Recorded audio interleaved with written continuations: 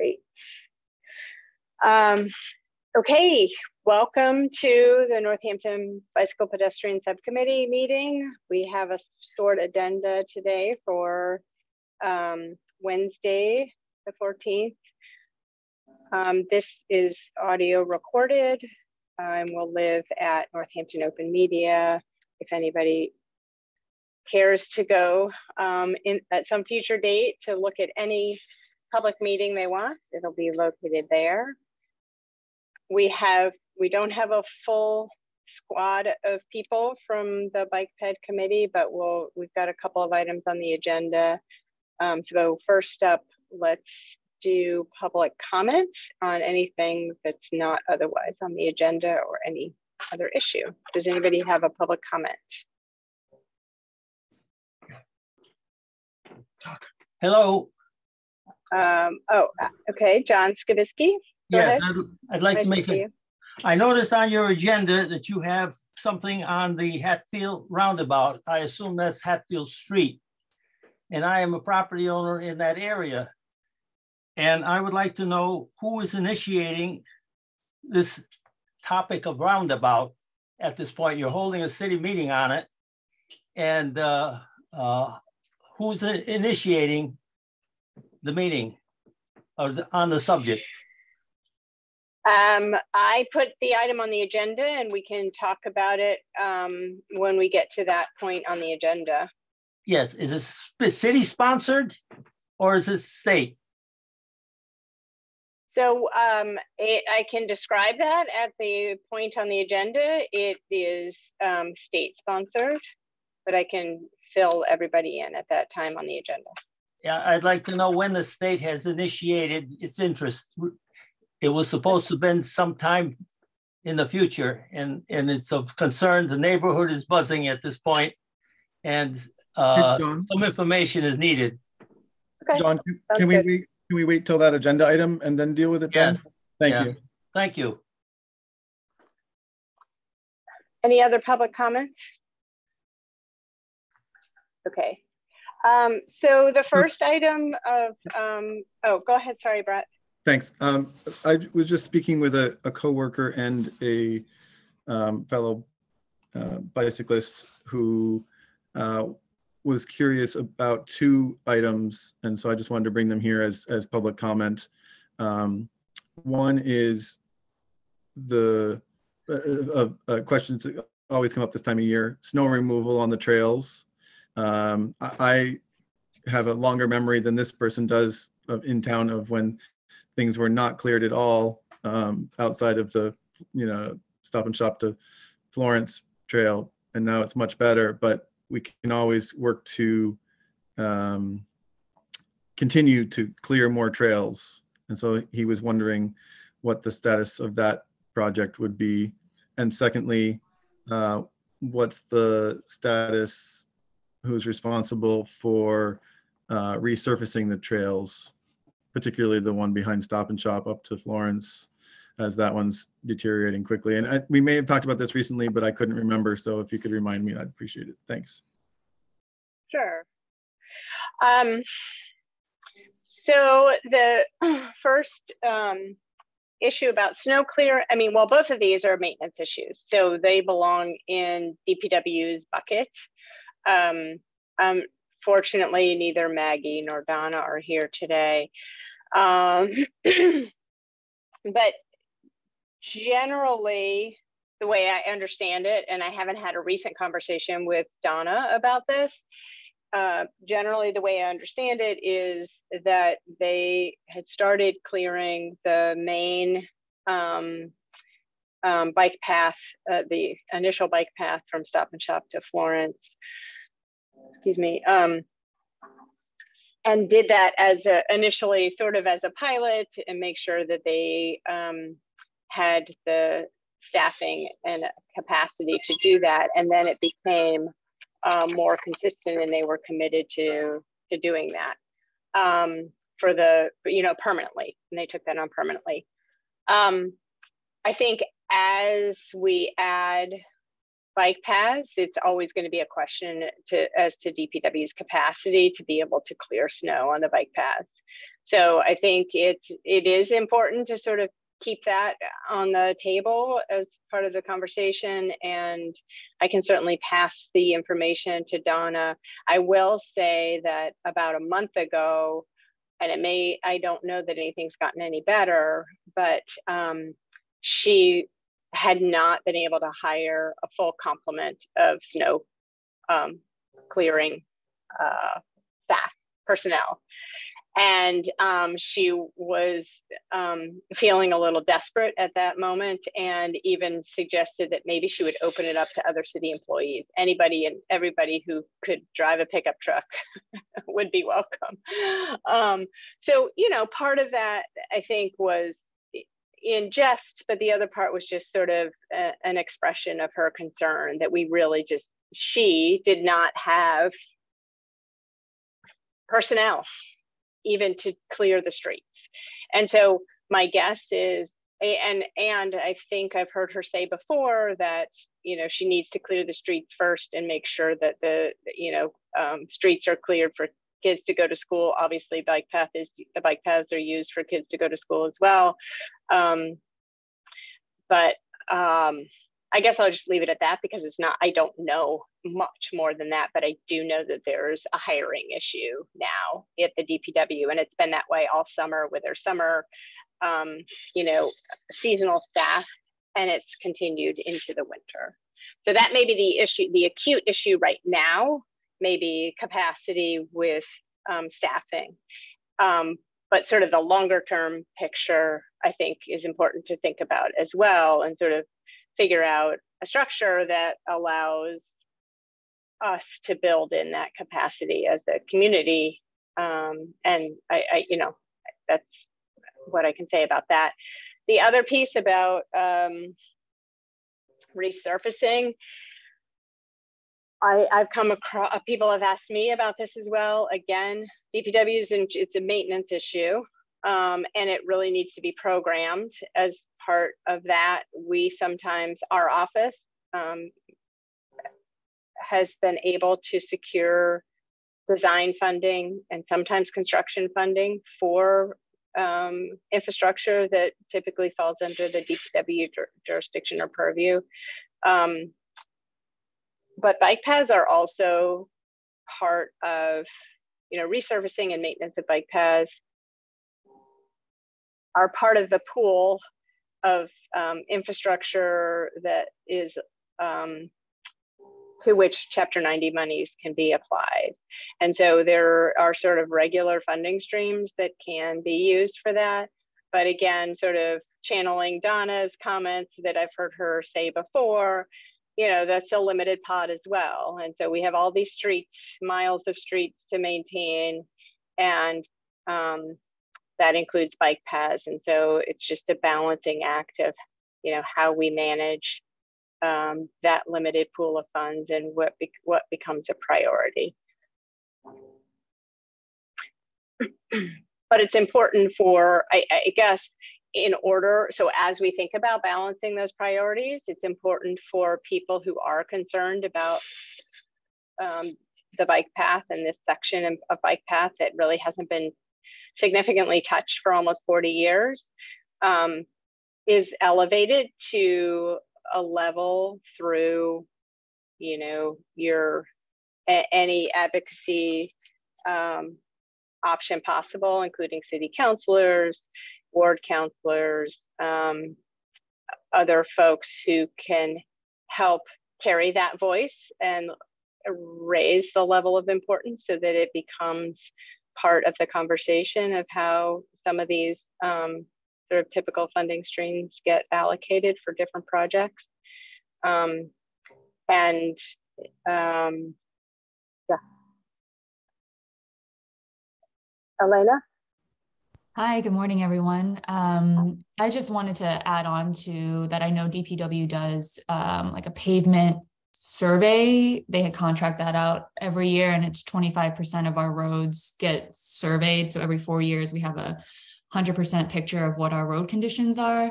Um, and so I guess just for the public record, and I can definitely follow up with Donna and DPW about this, but making sure that the bike path is included in that audit, um, portions of the bike path every four years. So we have a hundred percent outlook of what the bike paths bike paths condition is, um, similar to what we do for roadways. And I think um, it's just consistently raising this, like you said, Carolyn, and um, making sure that um, bike paths are treated and bike lanes are treated just like roadways because they are viable forms of transportation for a lot of members of our community. Thanks, Elena. Thanks so much for taking time with those two things, Carolyn and Elena.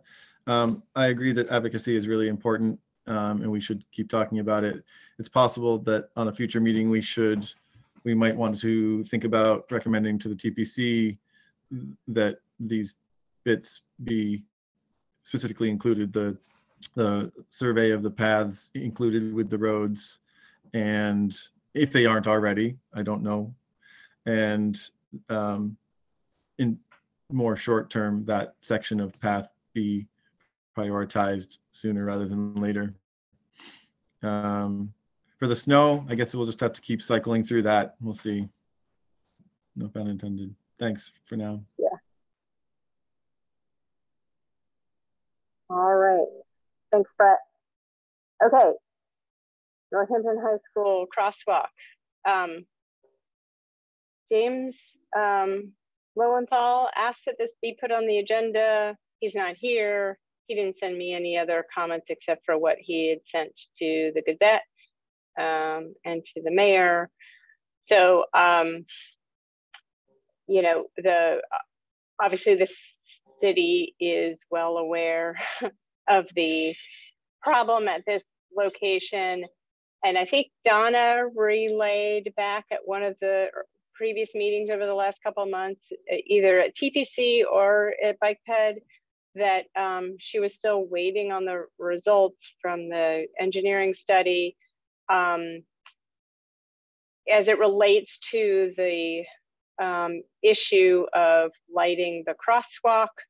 Um, it's certainly a much bigger problem now that we're in this period of the year where um, we have less daylight. Um, I think the city is considering um, putting a pedestrian scale light on the high school side of the crosswalk. Um, but I don't know what moves they've um, Donna has taken in that regard. I know it's been a topic of conversation. And so that's all I personally have on this, but you know, we'll definitely open it up to um, anyone else who wants to make a comment. Um, anyone on the committee before I open it up to Elena? Okay, great. Go for it, Elena. um so i'm just i mean we've been waiting for this report for some time. And last i i was in a conversation with the mayor back in october and she was like any day now. Um and here we are two months later. So i'm just curious like what day? Like when? And you might not know the answer. Maybe this is a question for donna but um, it has been delayed a lot. And um, i mean another student was hit just a couple weeks ago. So um, i don't know i feel like we should as advocates you know put a little pressure on the city to put pressure on the consultants who are doing the study um anyways that's just generally like when is it coming yeah. Um, I don't have an answer. I am because I'm not part of that process. I wasn't part of, and, and I, it, you know, that was a DPW contract, and so um, I don't have any insight on that. Um, but I don't disagree that, you know, um, it's been a long time, and that we should probably already have seen something. I would would have hoped anyway that we would have seen something that doesn't but i also think that like you said i think there are other things that could be done in the short term that even that may not discount what the long-term you know solution might be at that or it could be something that's sort of a light touch um, modification while we wait for sort of the big construction project that um, uh, more permanently improves the safety at that um, intersection. One of those things I would, I mean, I would have to agree. It's it's very um, dark on the high school side of that crosswalk, no matter how slowly a vehicle is going. If someone pops out of the dark, the driver isn't going to see them. And so I think that's certainly something that um, could be addressed immediately without having a negative impact on the potential of a future sort of long-term fix to that intersection. Yeah, and I'd also, I mean, traffic cones, like there's a lot of like really basic temporary things that we can do to slow traffic. Um, it's a really complicated, I go through that intersection often. I live nearby it and I go through it on my bike and also in my car. And it's knowing the history of the intersection, I'm always extra careful, but it is really challenging um, navigating it. And I see, I mean, enforcement could also be another thing because I see cars turning left off of Woodlawn onto Elm Street a lot and during rush rush hour. Um, and you know, it's just there's a lot going on in the intersection. I think like traffic cones could slow people who are coming from Florence down on Elm Street because that road really does widen quite a bit going into the intersection.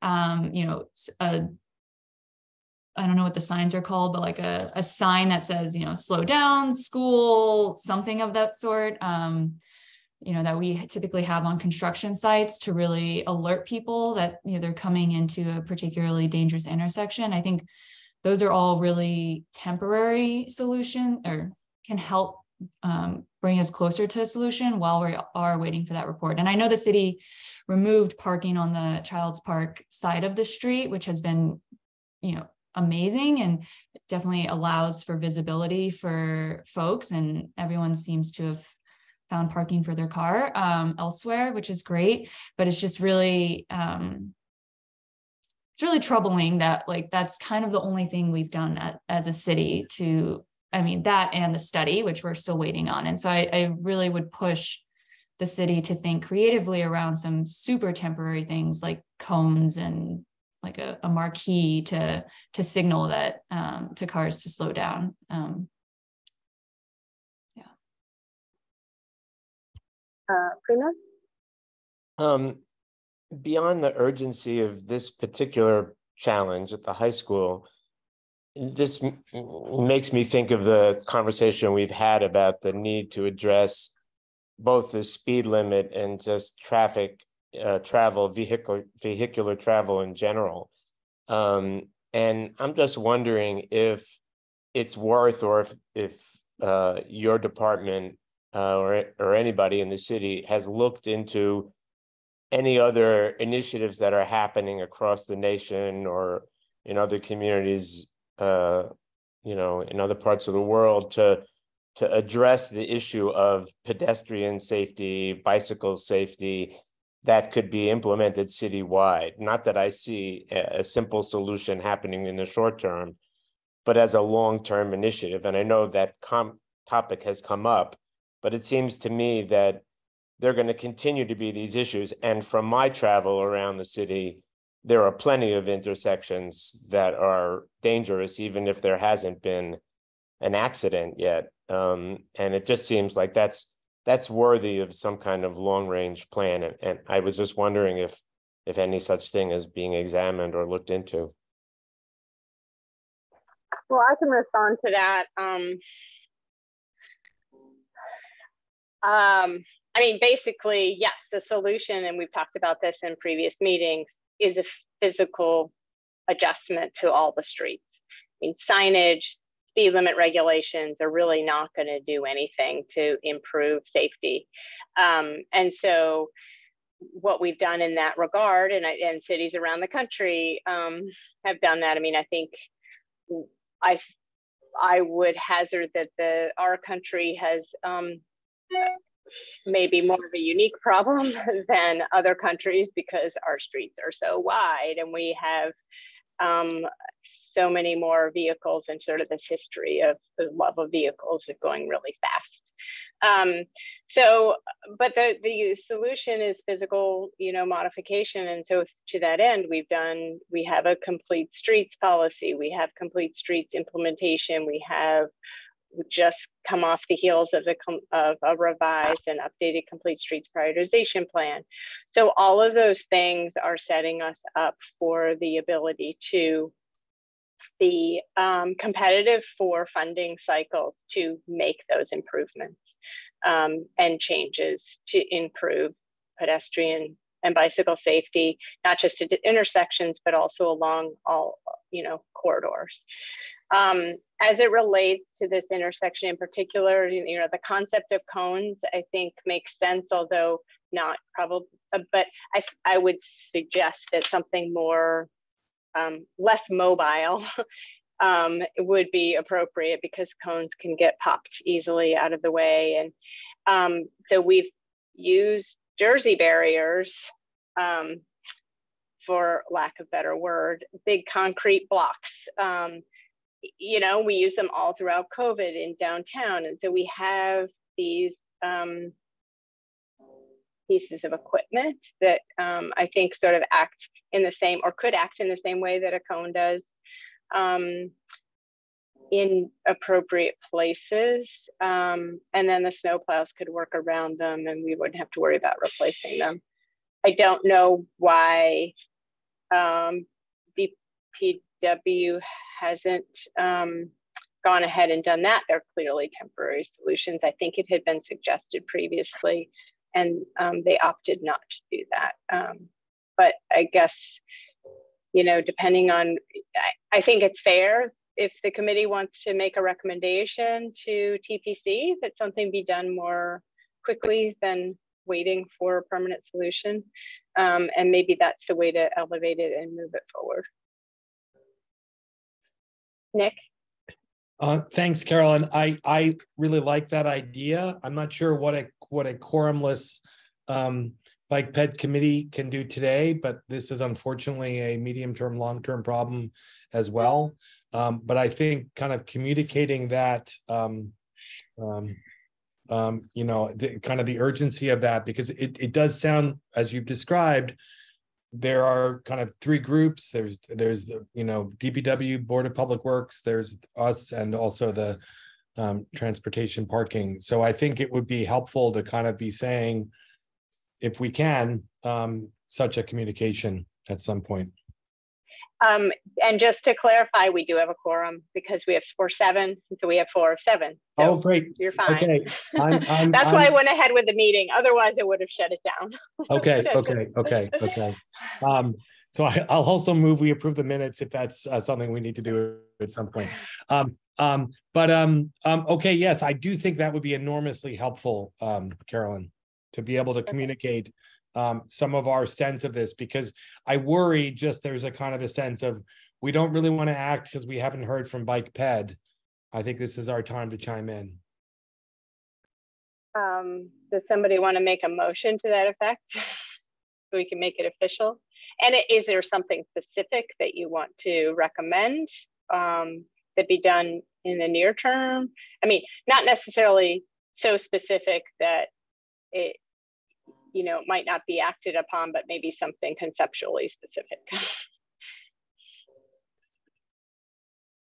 so I, I mean, I, like mobile barriers or something. Yeah, you know? I, I, I think kind of acknowledging that while we're still waiting for, you know, for the report, um, um, you know, we believe there's urgency in uh, exploring options that might include such things as physical barriers of a more temporary nature um, or other improvements or modifications that um, as well as the longer term planning um, that that we know needs to happen. Okay. So I heard that as a motion. Does anybody want to second that? okay, uh, you're muted, Freeman, but I understood what your sign language was that you would second that. okay, so um, we're on Zoom, so I'm just going to take a roll call. Um, Freeman? That was a yes. Yep. Okay. Yeah, Nick Yes. and Brett. Yes. Okay. And Great. Carolyn? Um, okay, so the next item is, um, I had this on there, this about the Hatfield Roundabout. We had been, um, so this, as you all know, uh, there was a design that had been, the city had facilitated, um, and it had been on the TIP. Um, DOT had um, gone out to bid for contracting for the roundabout at North King Street in Hatfield. Um, the bid was issued. Uh, bid was um, issued. The contractor was enabled, and then um, um, due to concerns um, raised about um, at, at, that location about um, in particular uh, Native American archaeological artifacts. Um, DOT pulled back and said they wanted to take another look at it. Um, so that was, I'm sorry, I don't, I think that was two years ago, um, if I recall correctly, almost two years ago now. I'll have to pull up that when that happened. But um, DOT has since um, taken over the design part, part of this to try to address it. Obviously, there's still safety issues um, for vehic vehicles and all um, users of that intersection, those who are not in vehicles. And so, um, I mean, that was the whole reason why it was put forward initially as a design, so they know that this intersection needs to be addressed. Um, and so they have taken over the design. They had um, contacted us during the summer and said that they were going to put together 25% design and restart the process and wanted to set a public hearing. We were, we set a date for a public hearing about a month ago for January 10th um, in city council chambers and on Zoom. However, I haven't seen the official posting from DOT. So I don't know if they it had some internal conflicts with that date and are looking at another date. But I just had this on the agenda to uh, let you know that we had assumed it was going to be January 10th. um, so at 6.30 p.m. Um, and that's about all I have on that um, item. Anybody on the committee have any questions? Obviously, I realize this has been a contentious issue, Carolyn, but the safety issues are just huge and I imagine have not gotten any better. I was impressed with some of the sidewalk improvements because there is uh, um, um, kind of gradual improvement from the Big Y complex, the other side of the street. Um. But it's just feels hazardous for people um, in and around there in so many ways. But Right, and those sidewalk extensions were gonna go up Hatfield Street um, to Cook Avenue, um, which was also an important piece of that project.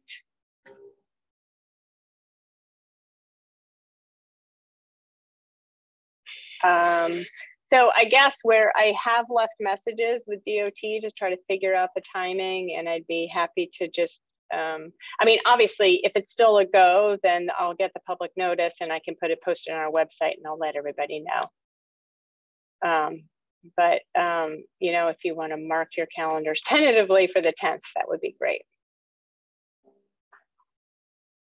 Um, yeah, go ahead. Yeah, Carolyn, um, I, it's generally been our policy and practice that um, public comment is solicited for items not on the agenda and then the public is allowed to bring, bring the similar kind of public comment forward on specific items is mm-hmm. I just wanted to make sure John was understood that as well and maybe it was just the yeah. date was helpful. Yeah.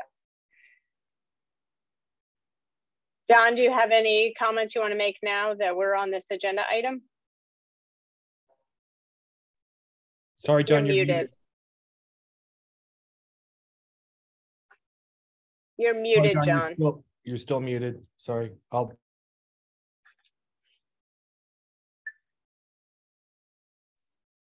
Okay. Yes. Okay. Yep. It's, it's interesting to know that uh, they're uh, getting started once again.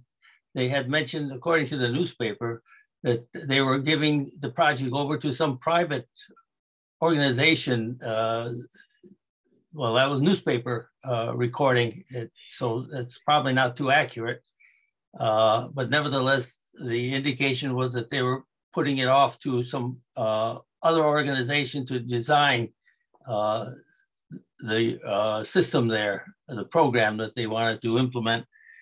But uh, it is in litigation still. And there's no resolution yet in regards to uh, activities that took place there. And uh, I assume that uh, something will be coming up fairly soon uh, uh, on it. But uh, I would say that if you're going to have a, a public meeting on it, it should be also in the newspaper. Not everybody has a computer, and a lot of news slips by them about meetings and agendas and things of that nature. And I would think a, a, a, couple of good articles in the newspaper would alert people that this meeting is there for their uh, purposes. And uh, um, that's all I can say at this point. And uh, apparently, they have an interest to, uh, the DOT has an interest to uh, continue there. And uh, so we'll just have to wait for their meetings to uh, come up. So I'll be interested to know if there is a change in the January 10th meeting. But thanks for your help in, with information. Sure. Yeah, so um, DOT often hires outside engineers to help them with design. So they haven't turned the project over. They've contracted with an engineer to do to come up with an alternative design. Okay. And Thank you. they are the ones, they're the ones that post the, the notices in the Gazette. Yeah. Okay. Thank you. Sure. Um, that's all I have on that one. If anybody else has any comments, uh, Nick, on, on a somewhat related twenty-five percent design phase, do we have a date for the Main Street? Or, sorry, I don't mean to, um, um, anyways, I'm, I'm asking innocently here, Carol. I know. So hold on just a second. So tomorrow we're meeting with our design team again. I'm hoping they'll have um, news for us. It has been troublesome to me that we haven't heard back from DOT about that 25% design hearing date. And the last we heard, I think I relayed at the last meeting, but I can't, I can't honestly, can't remember, is that our consultants thought that now we were looking at the end of January. But as I understand it, they need 30 days to advertise it. So we're getting, you know, it's mid-December. I, and I haven't heard of any dates for us to hold yet. So I don't know, but I'm hoping I'll find more information out tomorrow.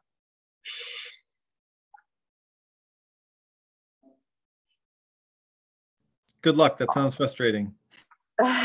yeah, I mean, we can only do what we can do to to encourage them, and it's all on their schedule. So, um, so then I guess the last item is minutes. Yay! So exciting. um, any modifications to the minutes, or did I hear a motion to approve in a second? I'll make the motion to approve the minutes. Okay. A second, Thank you. Okay, um, I'll do a roll call. Brett, Yes, approve. uh, Nick, Yes, uh, Freeman. yes. Great, thank you. Any other last items anybody wants to talk about before we sign off? Stay safe Alright. and well. Take care, everybody. Yeah, have a great end of the year, you guys, and we'll see you in January. Thanks. Thank, thanks, Carolyn. Should we Well- put a, a note on the next agenda to discuss alternate meeting times? Um, sure, I can do that. Okay, thanks. Yep. We may it not make any changes, but at least we can discuss it fully with maybe a few Sure. other, few others present. Thanks, Carolyn. Yeah, no problem.